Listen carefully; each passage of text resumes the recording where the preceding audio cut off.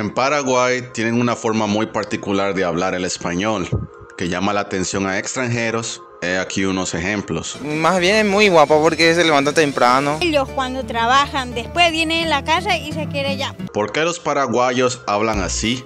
Eso lo veremos en el video de hoy. La República de Paraguay es un país sin litoral ubicado en la zona central de América del Sur. Cabe resaltar que Paraguay es constitucionalmente un país bilingüe, donde el español comparte su estatus de lengua oficial con el guaraní, una lengua aborigen. El español es la lengua materna del 60% de la población y la segunda lengua del 30% de la población. El español paraguayo está fuertemente influenciado por el guaraní. He aquí unos ejemplos de este idioma.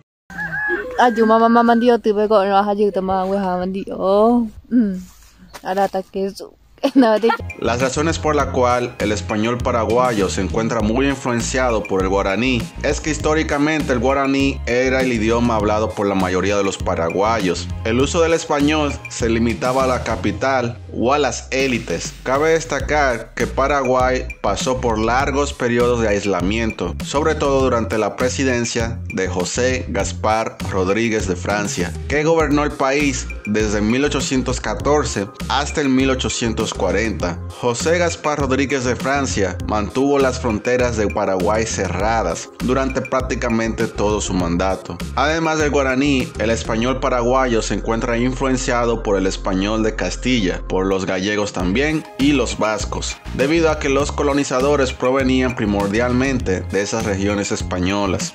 El español paraguayo está también influenciado por el español rioplatense, debido a la cercanía geográfica, histórica y cultural, del cual comparten características en común, como el voceo, parte del léxico y algunas palabras de origen europeo. Hasta aquí el video de hoy, no olviden suscribirse, comentar y darle like al video. Darío reporta.